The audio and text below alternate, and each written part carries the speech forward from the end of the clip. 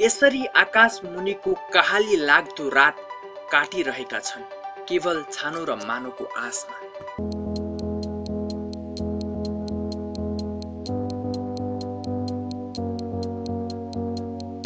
आइतबार साँझ करिब तिन मिनट चलेको आधी हुरीले घर मात्र उडाएको छैन। रातको निन्द्र पनि उडाइदिएको छ।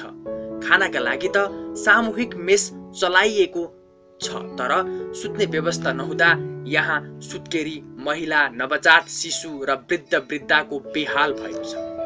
प्रधानमन्त्रीको हवाई निरीक्षणदेखि प्रदेश दुईका मुख्यमन्त्री सहित सिङ्गो प्रदेश सरकार आदि प्रभावित क्षेत्रमा थिए। तर जसै साँझ ढल्किँदै गयो आधीले उजाड बस्तीमा मान्छेको चहल पहल पनि घट्न थाल्यो। साँझ अबेर केही ठाउँमा त्रिपाल झारियो तर व्यवस्थित वितरण नहुँदा अधिकांश गाउँले खुल्ला आकाश मुनि रात बिताए।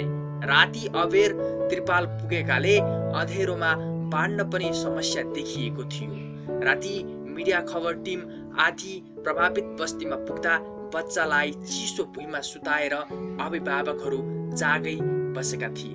आदि प्रभावित क्षेत्रमा अब भिआइपीहरूको भिडभाड भन्दा पनि तत्काल पुनस्थापनाको लागि प्रभावकारी कदम चाल्नुपर्ने देखिन्छ। दुई दिनदेखि खुला आकाशमुनि रात गुजारेका स्थानीयलाई छानो र मानुको भरपर्दो व्यवस्था गर्न तिनै तहका सरकार र सहयोगहरूलाई ध्यान दिनुपर्ने देखिएको छ। यस्तै ताजा अपडेटको लागि हाम्रो च्यानल सब्सक्राइब गर्न नभुल्नुहोला र यो भिडियो सेयर गर्नुहोला र सक्दो सहयोग पुर्याउनुहोला। धन्यवाद। जय नेपाल।